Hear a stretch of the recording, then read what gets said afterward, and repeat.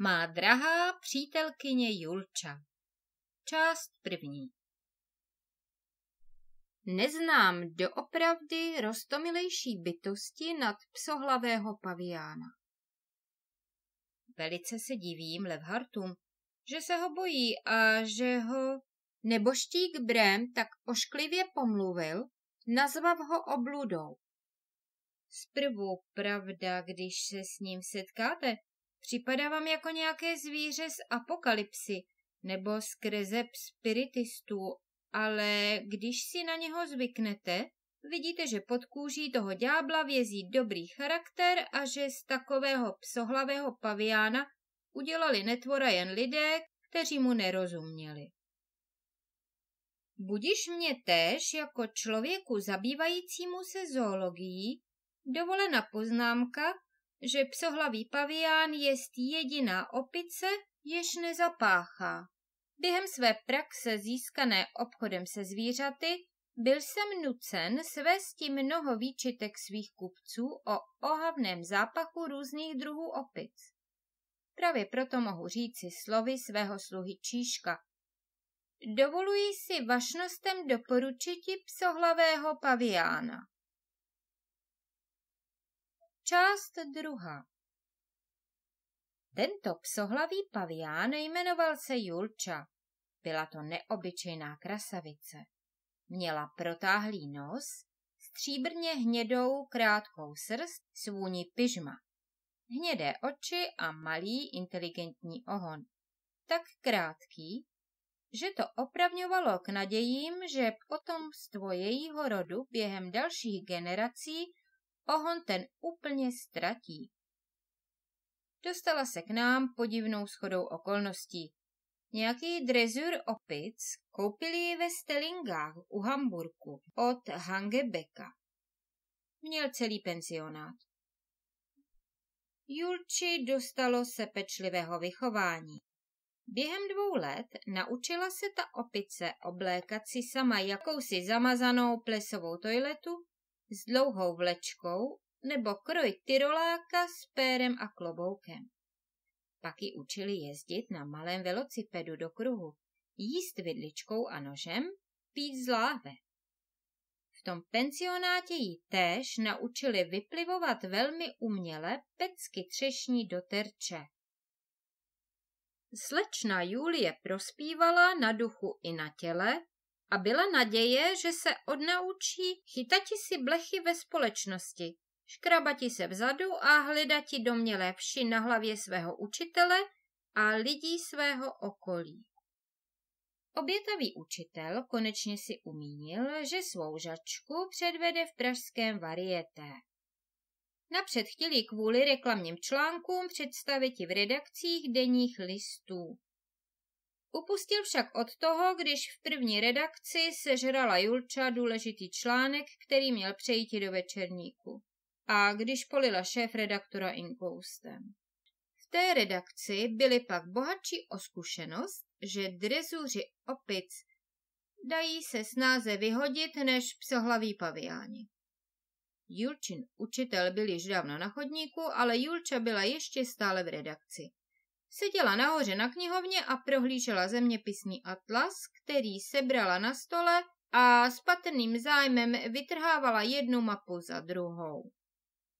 Šéf-redaktor s dvěma redaktory uzavřeli se v telefonní budce a radili se, co mají dělat s tím daleko přes metr měřícím dňáblem s hrozným chrupem který zatím strhl domácí telefon a házel oknem na ulici různé rukopisy ze stolu šéf-redaktorova.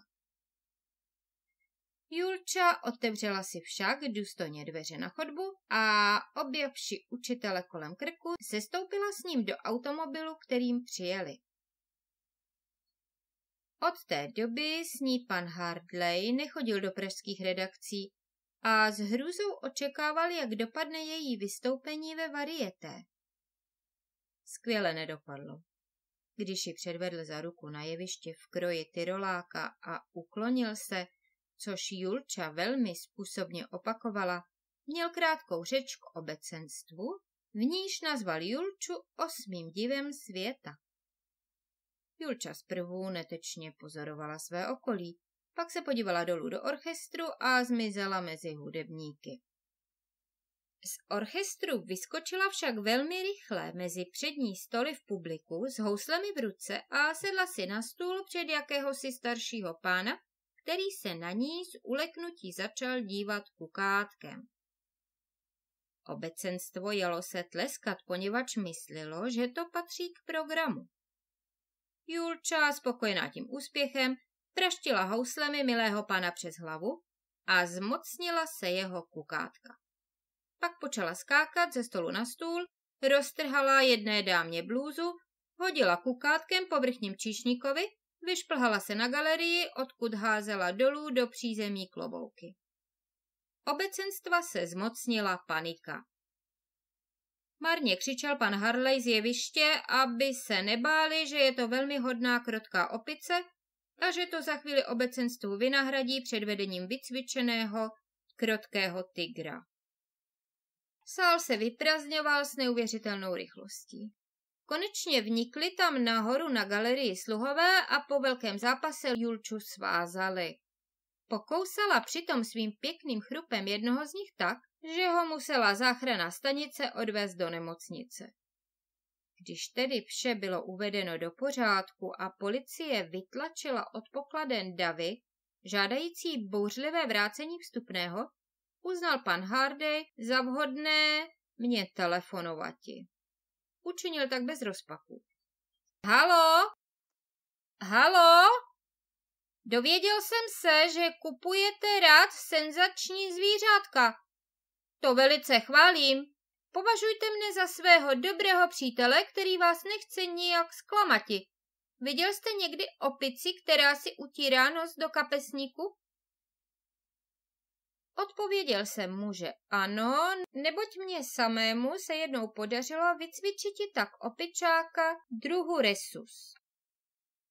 Ten nosí dokonce malý kapesník neustále při sobě v lícních torbách své tlamy. Když si chtěl utřít nos, vytáhl jednoduše z úst kapesník, nos si do něho utřel a za kapesník klidně strčil do úst.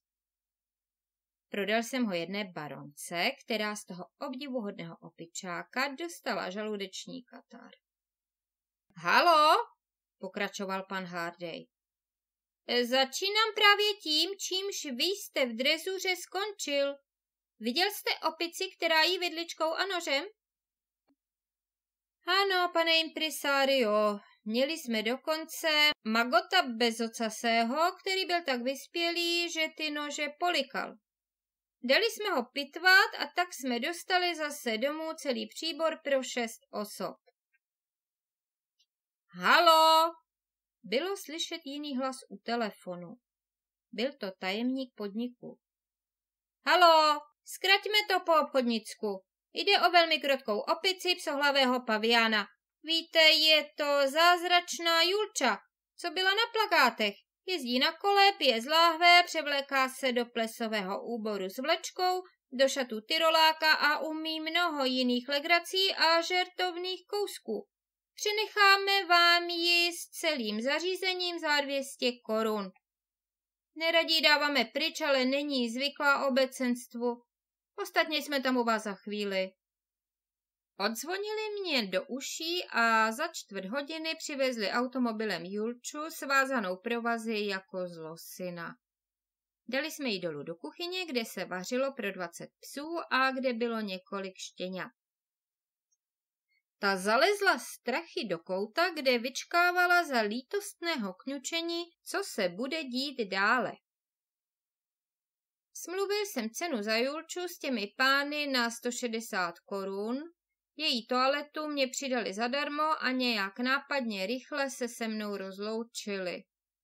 Po jejich odjezdu jsem zavolal sluhu Číška a poručil jsem mu, aby psohlavého paviána rozvázal. Klekl přede mnou na kolena a zapřísahal se, že musí pečovat o svou matku, což nebyla pravda, poněvadž před delším časem utekl z domova. Když viděl, že i to není nic platno, žádal zalohu pět korun, S podotknutím, že se musí na tak vážný a nebezpečný podnik posilnit. Spokojil se však dvěma korunami a odešel dodat si kuráže. Přišel za tři hodiny. Viděl jsem ho otevírat vratou plotu a čížek tiše zmizel v domě. Chvíli bylo slyšet dole nějaký hluk a pak bylo ticho.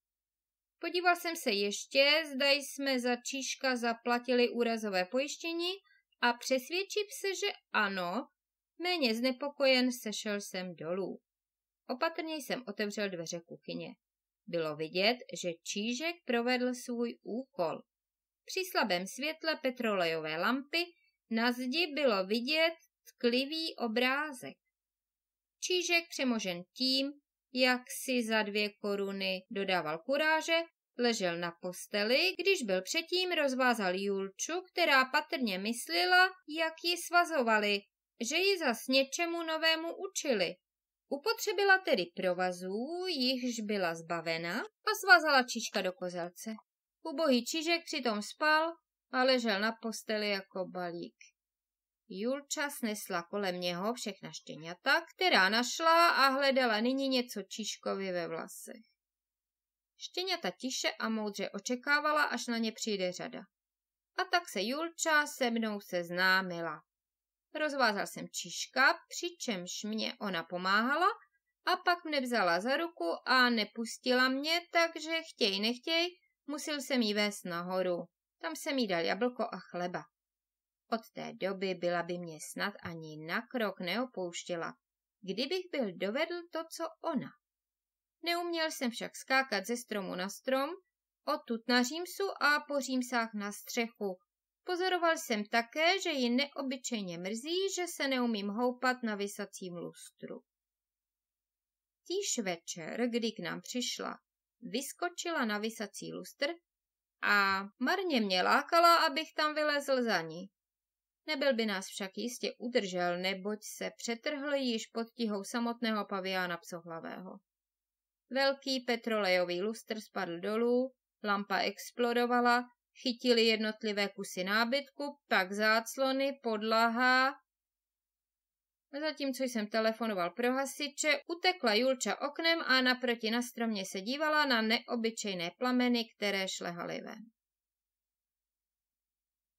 Když přijeli hasiči, museli Číška vynést ven, poněvadž velmi klidně spal. Julča trochu stěžovala záchranné práce, neboť se přiblížila ke stříkačce a počala se střídavě houpat na obou ramenech. Ti, kteří byli přítomni, tvrdili, že Julča pomáhala hasit. Velmi o tom pochybuji. Mohli tež tvrdit, když později si jednou v noci udělala výlet na Malvazinky do hřbitovní kaple a houpala se tam na zvonu, že šla zvonit umíráčkem za onoho zřízence elektrických drah, kterého před chvílí potkala a jemuž vzala čepici, z čehož dobrého muže ranila mrtvice. Bylo to však velmi milé stvoření. Přinesla mi tenkrát, abych se nezlobil, ze hřbitova plechovou tabulku. Zde spočívá můj milovaný manžel. Těž se na shledanou. Když byl požár uhašen, odebral jsem se s Číškem a Julčou do jediného zachráněného pokoje v přízemí. Julča rozumně usedla na pohovku a pomalu trhala nějakou vestu, které se zmocnila při té panice někde v sousedství. Nepatřila nikomu z nás, tak jsme ji nebránili v jejím počínání. Čížek seděl též klidně a u stolu mlčky pozoroval Julču. Náhle řekl utišujícím hlasem. 160 korun není docela nic moc za ní. Řekl bych, že je moc laciná. Dal jsem mu pohlavek. A tak jsme všichni seděli tiše, já, Čížek a Julča s cizí vestou, každý přemítaje o svých záležitostech až do jedenácti hodin v noci. Po jedenácté hodině vzali jsme Julču za ruce a odvedli ji do zahrady do velké klece Popštrosovi Nandu, kterého nám jednou sežrali v noci krysy. Když jsme ji chtěli zavřít, sahla si do úst a vytahla odtamtud ocelové kapesní hodinky a podávala mi je. Zavřeli jsme ji přes tento úplatek a já, podávaje Čiškovi hodinky, řekl, co tomu říkáte? To je zvláštní, odpověděl. Já bych tak dlouho nevydržel mít hodinky v hubě. O hodinky se nikdo nepřihlásil. Nosil jsem je až do předloni. Šly velmi přesně a byly bicí. Soudil jsem z toho, že náleželi nějakému zámožnějšímu diváku, který se šel podívat, jak to pěkně u nás hoří. Julča si pomalu zvykla na nový domov, jenom hospodyni Fanny neměla ráda. Patrně proto, že Fanny měla víc toalet než ona. Ubohá Julča měla jen jednu sukni, s vlečkou sice, ale byla to přece hrozná chudoba. Tak se stalo, že jednoho dne, když přišla nahoru, otevřela si dveře do pokojíku slečny Fanny a prohlédla si její toaletu. Byly to pěkné nové šaty, které tam ležely přes židli. Julče se zprvu více zamlouvala bluza než sukně. Vlezla do bluzy, ale poněvadž to na ní vyselo, zkusila to obleci opačně. Vlezla hlavou do rukávu, který musel povolit, aby to na ní řádně padlo.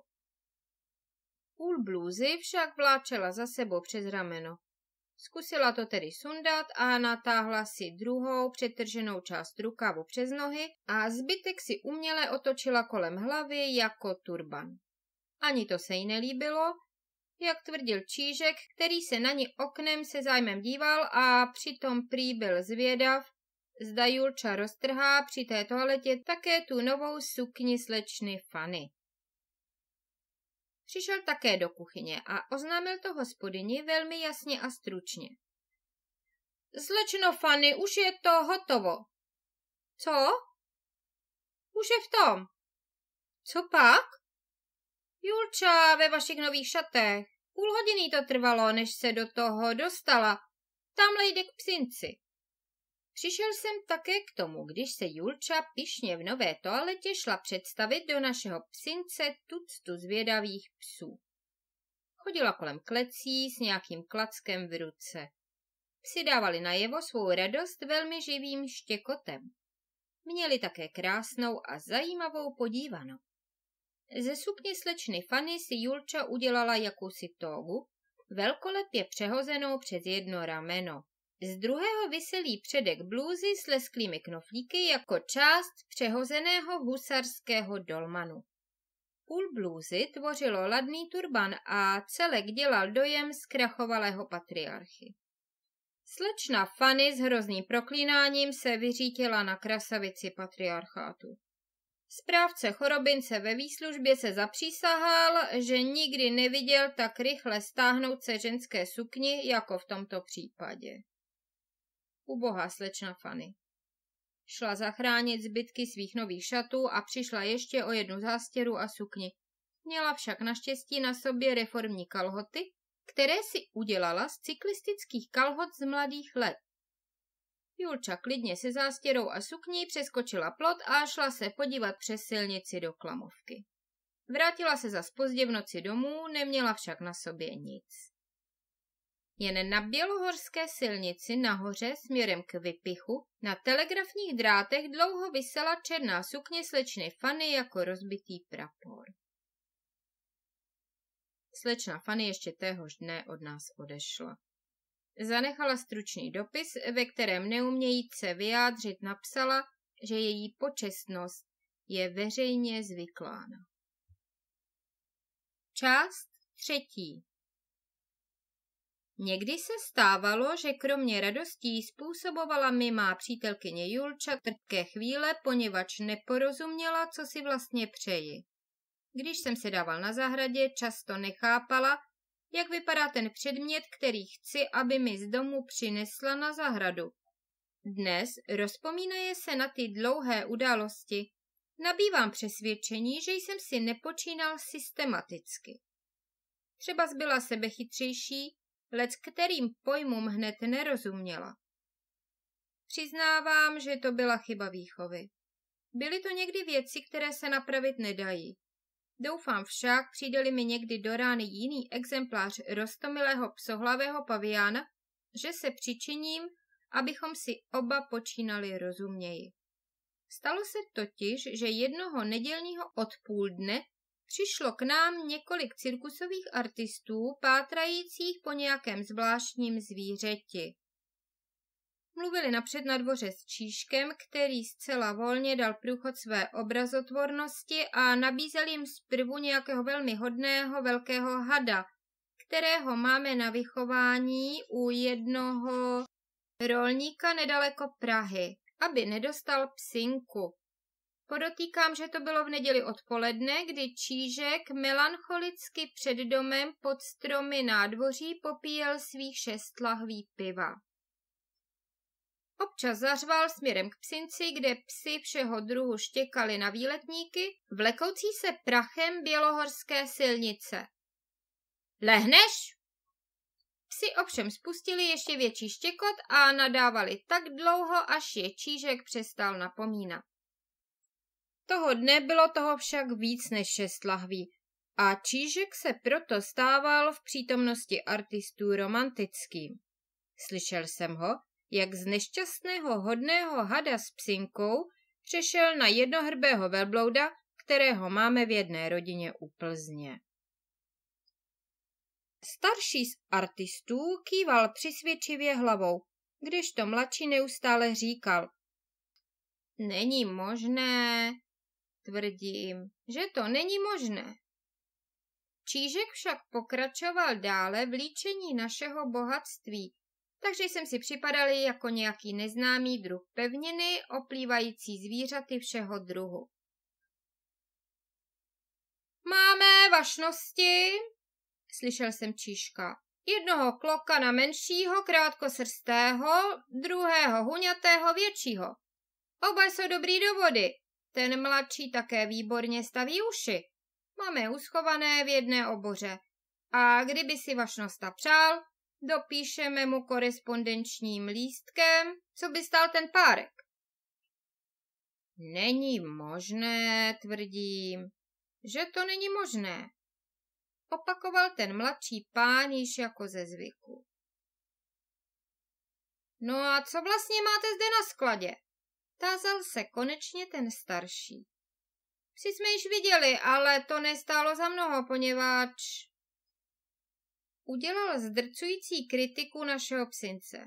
Nelíbila se mu předně čerstvě natřená harlekínská doga. Říkal jsem sice Číškovi, ale on zapomněl postříkat jí sikativem, když jí udělal krásné skvrny. Dopoledne se Doga postavila někde potokap a barva pustila. Mladšímu se zas nelíbil velký řeznický pes, o kterém Čížek tvrdil, že je to jediný exemplář mastifa v Evropě.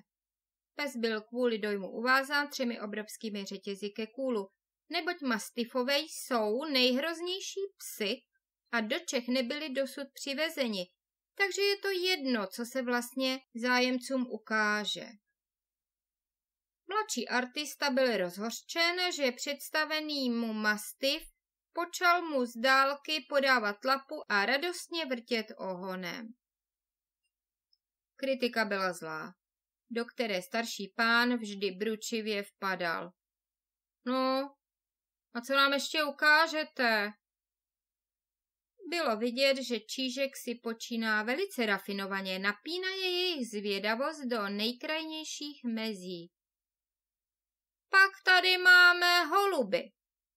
Klidně pokračoval Čížek. Cože? křičeli oba hrozivě, když v tom Čížek slavnostně řekl. Dovoluji si vám doporučit co nejlépe paviána psohlavého. Jsou oba na zahradě, paviány pan šéf. Tak jsem se seznámil kvůli Julče s bratry Schneiderovými, artisty v různých cirkusech. Mladší měl cvičené prase a toho živilo po tři roky. Pak ztratil angažmá, prase snědl a dělal nezranitelného fakíra. Jednou se však přece doopravdy zranil, dostal otravu krve Zanechal fakírství a dělal Augusta se svým starším bratrem. Rozhovořili se o tom, že by potřebovali nějaké zvíře, které by je doplňovalo. Mezitím se Čížek vrátil ze dvora do kůlny. Toho dne totiž byla Julča zavřena v kůlně za trest, poněvadž se nějak dostala do pijána, které se jí podařilo rozebrat sice jen částečně, ale s mnohem větší rychlostí, nežli by se to podařilo zkušenému ladiči pijan. Přinesla sebou ta dobrá duše černé i bílé klávesy, takže piano pak mělo velmi příjemné mezery. Byl jsem tomu povděčen, poněvadž k nám vždy dvakrát týdně chodívala hrát dceruška našeho účetního. Pan účetní však měl v pijánu schovanou láhev kontušovky, kterou při té příležitosti Julča vypila. Bylo tedy nutno slečnu Julču zavřít, aby nevyvedla vráže nějaké nepříjemnosti. Číškův návrat nebyl nějak radostný. Vyhlížel utrápeně a vzal mne stranou. Paneše, naříkal, ono to asi nepůjde, ona ta opice má opici. Řekl jsem mu, aby zanechal nechutných slovních hříček a spěl rychle k jádru věci. Je to s ní moc těžká řeč, pokračoval zoufale. Ona se nechce oblíkat. Napřed se mi oblékal do těch šatů s vlečkou a ona si chtěla vzít přes ty šaty kroj ty roláčka. Pak jsem jí řekl, že to může udělat, když se chce před pány objevit jako tyrolák. Ale aby počkala, až jí ty dámské šaty svléknu. Ona si teda dala říci, ale jak měla tyroláčka na sobě, chtěla si zad přesto natáhnout dámský úbor. Tak jsem to z ní stáhl všecko. Zde to nesu, aspoň ukážeme těm pánům, jak si pěkně chodí. Ale to není všechno, řekl ještě smutnějším hlasem Čížek. Tak jsem chtěl aspoň, aby Pary mu ukázala, jak umí jezdit na kole a přinesl jsem jí kolo. Sedla si na kolo a najednou vyjela zevrat. Nabrala to druhou stranou po silnici a je pryč. Je úplně pryč, dodal sklesle. Oni nám to nebudou věřit, že vůbec něco takového máme doma. Taky nám to ovšem nevěřili. Marně Čížek ukazoval Julčin plesový úbor, kroj tyroláčka a láhev, ze které pije. Mladší byl strašně drzý. Na tohle vám nedáme žádnou zálohu, křičel. Velblouda máte u jedné rodiny v Plzni, klokany v jedné oboře a teď vám najednou ujede psohlavý pavián na velocipedu. Když nám to máte ukázat, to je zatracená náhoda, pane. Starší mluvil něco o podvodech a ironicky volal. Pánstvo nám dokonce ukazuje láhev, ze které pije. Ale vždyť je to obyčejná láhev od piva. Vyšli z našeho podniku s příkrými výrazy o naší nesolidnosti. Ve vratech se ten mladší obrátil a zastavuje nějakého úplně cizího pána řekl, ukazuje na mne. Tomuhle pánovi ujel psohlavý pavián na velocipedu.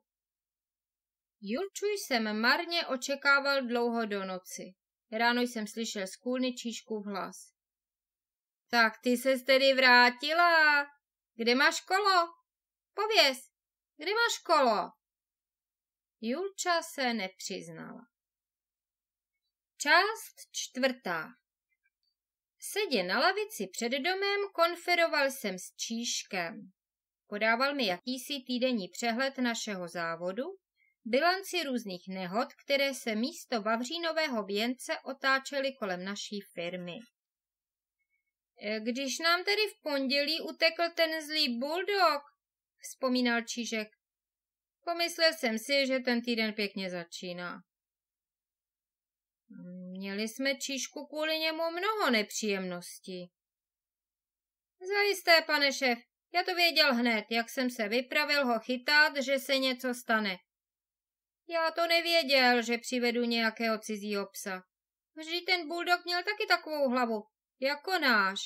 A byl taky zlý, když jsem ho tahal od toho krámu, kde čekal na svou paní. Však to pak bylo také v novinách odvoláno, že krademe psy. On mi sice říkal pan komisař na strážnici, zmejlená neplatí. ale rád bych věděl, jestli by on poznal buldoka od buldoka, když nerozeznal vinnýho od nevinnýho. Čížek si utřel rukávem prakticky slzu i nos zároveň. To vždycky říkám, pane šéf. Když mi v pondělí uteče nějaký pes, pak se začnou přes celý týden ztrácet jeden po druhém. Jako hned na to v úterý ten stajový pinč toho inženýra, který nám ho sem dal, abychom ho za deset korun odnaučili kousat. Já mu hned říkal, že ani za dvacet korun neodnaučí chňapat po lidech, aby si ho raději nechal doma. Ale když jste vy, pane šéf, moc velký dobrák a všechno byste udělal kvůli té reklamě pro závod, tak nám hned v úterý zmizel. Myslel jsem, že pes půjde domů a telefonoval jsem panu inženýrovi, že je jeho bojek už na cestě. Dnes je sobota a ještě není doma. Z toho budeme mít velké opletání, pane šéf. Já s tím nechci nic mít. Dopoledne telefonoval pan inženýr, že myslí, že jsme ho prodali, jako ti Jakubovi synové Josefa. Ve středu jsme museli dát zakopat půl té angorské kočky, kterou nám sežrali fretky. Já to říkal, abychom dali fretky do železných klícek, že se nám z bedny prokoušou na angorskou kočku, že chtějí maso a nejen samé salátové lupeny. Bylo jim vidět krvežíznivost na očích. Když jsem jim dával do bedny salát, udělali z něho pelech a z toho se koukali na mě tak, až jsem dostával strach. A přece by člověk snědl pět na posezení. Jaká jsou to malá zvířátka. Vy jste je snědl? Jen tři, pane šéf. Ty, které jsem utloukl na kočce. Ostatní čtyři mě utekly. Udělali jsme si je s kočím na cibulce, masíčko mají bělonké, ale trochu bylo cítit divočinou, jak se divoce vrhli na angoru. No, ve čtvrtek jsme šťastně prodali párek ozdobných bažantů. Sameček měl trochu vytrhaná brka v ocase od toho jezevčíka.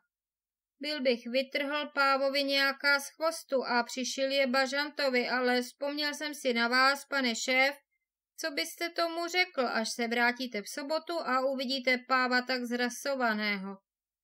A pak myslím, že by to nebýval žádný dobrý obchod pátek jsme prodali jednoho ruského chrta a jeden nám utekl. Pan účetní řekl, že to tedy anuluje. Taková tedy byla bilance za týden mé nepřítomnosti. Byl jsem v Drážďanech, hodla je koupit něco příhodného z tamní zoologické zahrady, která byla v likvidaci.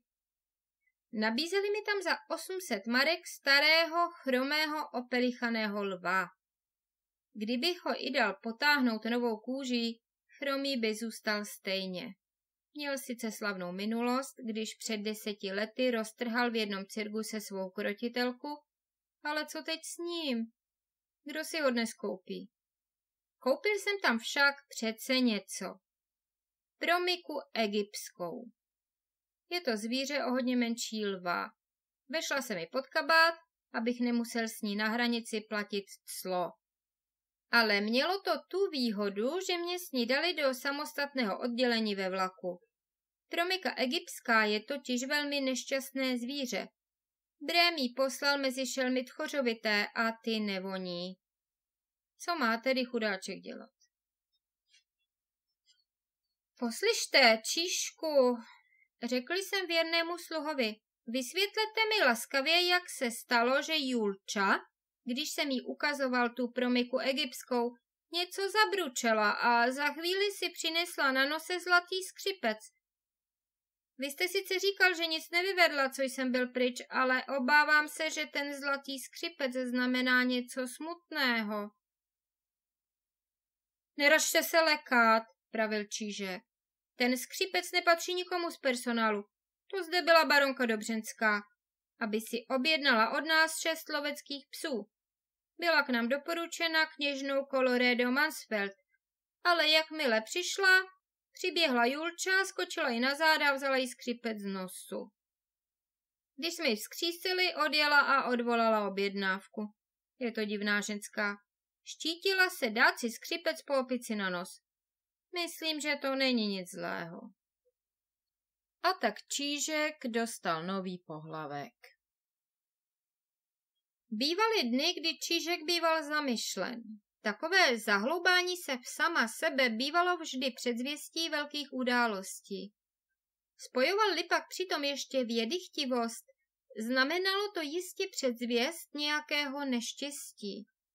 Jednou se mne například Jísa hluboce zamyšlen otázal při mém návratu uvrat do dvora, jaký vlastně mají ve vodárnách přístroj, aby voda byla vytlačena až do tak vysokých poloh, jako je náš dům.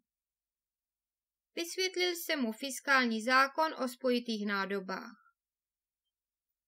Dobře, řekl Čížek, tomu já rozumím, to je velký tlak, ale nešlo by udělat nějaký patent, aby šlo vodu zastavit? E, jak to? Otázal jsem se. Totiž tak, pane šéf. Myslím, že by nebylo záhodno něco vynajít, co by samočině uzavřelo prout vody u vodovodu, kdyby se stala nehoda, že by někdo ukroutil kohoutek a vodu nešlo zastavit. Ono je to velmi nepříjemné, když voda vyplaví dům. Vyzval jsem ho, aby řekl, proč se táže na tak podivné věci. Nemyslete si, pane šéf, pokračoval zádumčivě, že mě to jen tak napadlo. Přišel jsem na tu myšlenku, že by to byl praktický vynález, když jsem viděl, že Julča kroutí kohoutkem u vodovodu na chodbě v prvním patře. Věděl jsem, že má sílu, ale že by to tak rychle ukroutila, toho jsem se nenadhal. Myslel jsem, že jí to dá víc práce. A zatím, nežli jsem přivolal kočího, aby se na to šel podívat, ukroutila kohoutek a šla si lehnout na střechu na můsteku komínu. To byste neřekl, pane šéf, že to nejde zastavit. Jak to teče dolů po schodech, vypadá to jako vodopád. Dole v kuchyni plave už stolička pod nohy. Lavice je těžší a stůl také. Ty se ještě drží v pořádku ačkoliv už to trvá přes hodinu. Oči říkal, že asi spadnou stropy, tak jsme se vystěhovali do bezpečí. Ukázal smutně na svůj kufr u mřížový. Zjistil jsem, že to Čižek maloval příliš černě. Stropy sice byly promočeny, ale přímé nebezpečí nehrozilo. Strop v kuchyni spadl až po odchodu stavební komise, která nás ujistila, že je všechno v pořádku. V mém pokoji strop vůbec nespadl a bylo jej třeba jen podepřít několika dřevěnými kládami. Zejména za večerního přítmí to vypadalo velmi přívětivě, jako sloupy malého řeckého chrámu. Jedině nábytek se rozpadl v místech, kde byly jeho součástky spojeny klihem, a to mi poskytlo za dlouhých zimních večerů krásné ukrácení chvíle. Sestavoval jsem totiž z rozklížených kousků psacího stolu, prádelníku a skříně na šaty nový druh nábytku. Přiznávám se však, že přece jen s jistými obavami jsem sledoval, zda Čížek nemá zase v obličeji výraz melancholie. Asi za měsíc na to, kdy Čížek přestal hovořit o samočinném uzavření vodní roury po ukroucení kohoutku u vodovodu, Šel jsem se podívat, zda Čížek uvedl do pořádku jednoho královského pudla, kterého bylo nutno celého ostříhat, poněvadž měl strašné množství blech. Čížek to stále odkládal, neboť soudil, že všechny ty blechy při té operaci naskáčou do něho. Marně jsem mu vykládal, že blechy zahynou, když pudla napřed důkladně vykoupe. Hádal se s každým, že blechy opět obživnou. Vymýšlel si o nich fantastické podrobnosti. Slyšel jsem ho, jak kuchařce vykládá a přitom se zapřísahá, že zná jednu štiku, která měla na sobě spoustu blech, když ji vytáhli z vody. Konečně se odhodlal přece pudla ostříhat venku za hrozné vychřice. Vysvětlil to tím, že blechy jsou velmi lehký hmyz a že je vítr odfoukne. Když jsem přišel k místu, odkud se ozýval Čiškův hlas, Nepros, není to nic platné. Spozoroval jsem opět ten podezřelý, zádumčivý výraz na Číškově tváři. díval se ještě smutněji než zohavený pudl, který vyhlížel, jako by byl vyskočil právě před chvílí ze své kůže. Myslel jsem, řekl Čížek, že s tím budu hotov, než se vrátíte. Stali se to za věci, pane šéf. Vzdychl zhluboka. Právě mne napadlo, jestli by nebylo lépe, kdyby opice měla jen dvě ruce. Čtyři ruce je na opici příliš mnoho. Řekl to velmi těžkomyslně. Nezačal bych o tom mluvit, ale jestli ty zadní ruce Julčiny se začnou tahat s předními o ten revolver, tak se snadno může stát nějaké neštěstí. Je to sice váš revolver, pane šéf. Ale ona je s ním už někde za horama. Byl to moc hezký revolver. Uspokojil jsem ho, že revolver byl nabit jen slepými patronami. To je všechno hezké, pane šéf. Ale ona vám kromě revolveru vytáhla z nočního stolku také hrst ostrých patron a ty dala do kapsy. Nemluvte, Číšku. Už je tomu tak, pane šéf. Ona se na to oblíkla. Byla celé odpoledne taková hodná. Vzala si na sebe kroj ty roláčka. Asi před hodinou počala šmédit a redit po domě. Zahlédli jsem oknem její zelený klobouk s pérem ve vašem pokoji. Jdu tam a vidím je, jak si otvírá váš noční stolek. Nežli jsem se vzpamatoval, už si spala do kapsy kalhot patrony a šla ke mně s revolverem. Co jsem měl dělat? Podávala mě ruku, tak jsem jí rukou potřásal a poplácal po zádech, aby mi nic neudělala. Vlezla do zahrady a přes mříž slezla na silnici a skočila na zeď klamovky. Bude se tam asi někde procházet a střílet. Dosud nevystřelila, ale myslím, že až vystřílí slepé patrony, že revolver nabije ostrými a pak se něco stane. Dodal prorocky. Mezitím se sešeřilo. Byla to smutná situace a nic jiného mne nenapadlo než to, že ten pavián nemá zbrojní pas a uspořádali honbu na hlídače v Klamovce, že s tím bude mít teprve opletání, poněvadž nemá ani honební lístek, kteréžto oba dokumenty ležely u revolveru. To nemějte starost, pane šéf, řekl Čížek, když jsem mu vyjádřil tyto své obavy. Zbrojní pás i honební lístek si strčila do huby. Celý večer seděl Čížek u mne v pokoji. Oba jsme mlčeli. Pozdě v noci zdálo se mně, že Čížek o něčem usilovně přemýšlí. Nežli jsem se ho mohl zeptat, o čem myslí, ozval se přesvědčivým hlasem. E, já být na vašem místě, pane šéf, odjel bych raději z Prahy. Poslal jsem ho spát a šel jsem si též lehnout. Zdálo se mi, že slyším nějakou střelbu. Byl to však Čížek, který mne budil klepáním na dveře. Co je, Číšku? Julčo je doma. Vlezla do stáje a sedí tam celá vyděšená. Revolver jsem jí našel v kapse kalhot, když jsem jí svlékl. Taky ještě hrůzou stojí chlupy na hlavě a po celém těle. Vypadá jako ježek. V revolveru schází jedna patrona. Šel jsem se na ní podívat. Vyhlížela skutečně, jak Čížek vykládal. Krčila se v koutě na slámě a když jsem k ní přišel, podávala mě ruku, přičemž pronesla nějaký zvuk jako hu. To chce asi říci bum. Rozebral to filologický Čížek. Druhého dne stálo v novinách. Záhadný vražedný loupežný útok v Košířích. Dlouhý referát, na kterém si dali lokální zpravodajové velice záležet, stylizující název i jinak, jako například pokus loupežné vraždy, byl zajímavý v podrobnostech. Šlo o stařičkého trafikanta, bydlícího v přízemí domu číslo 249 v Košířích pod Cibulkou. Nesl si domů denní tržbu za tabákové tovary a když si byl ve své skromné světničce zatopil a rozsvítil, otevřel okno, aby světnici vyvětral. Když tu nějaký muž se vyhoupl na okno a střelil po něm, právě když chtěl přiložit do kamen. Zde se zprávy rozcházely, neboť dobrých 50% denních listů psalo, že vražedný útok na větchého dědečka byl spáchan v okamžiku, když chtěl povytáhnout knot lampy. Ať tomu bylo tak nebo onak, všichni novináři se shodovali v tom, že útok byl promyšlen a že útočník vyčíhal dobu, kdy domácí lidé odešli do biografu.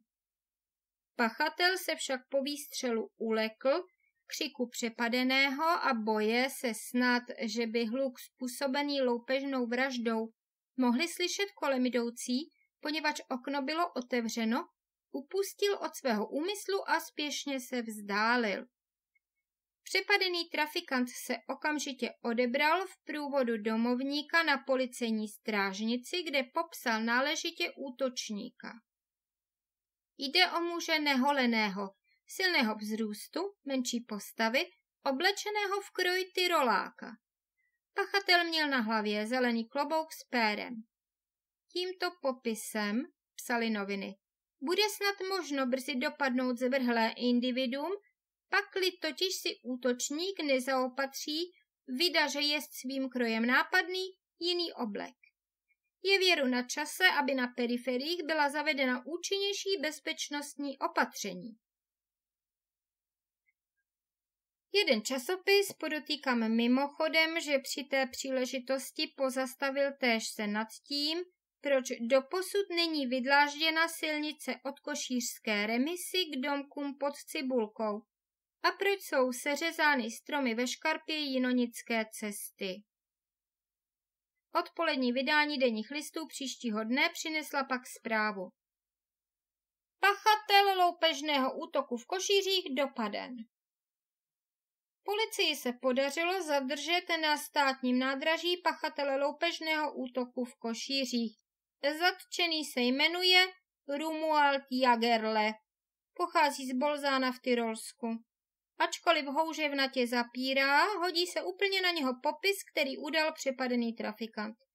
Byl u něho nalezen menší obnos peněz a citera. Udává, že přijel do Prahy dnes ráno, aby odjel do Litoměřic, kde je angažován jako citerista v jedné noční kavárně. Zajímavé je, že si nedovede vzpomenout, v které noční vinárně v Litoměřicích je angažován. Poněvadž nebyl u něho nalezen revolver, domnívá se policie, že revolver někde na útěku odhodil. Byl dopraven do vyšetřovací vazby k trestnímu soudu v Praze. Při konfrontaci s přepadeným označil trafikant Jagerlého určitě za pachatele, poznal ho okamžitě.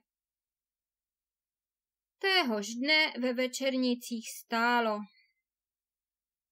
Jagerle, dohnělý pachatel loupežného útěku v košířích, propuštěn na svobodu, poněvadž prokázal své alibi průvočími vlaku, kterým hrál v době útoku na trafikanta ve vlaku mezi Lincem a Budějovicemi na Citeru. Policie vyšetřuje poznovu celý případ.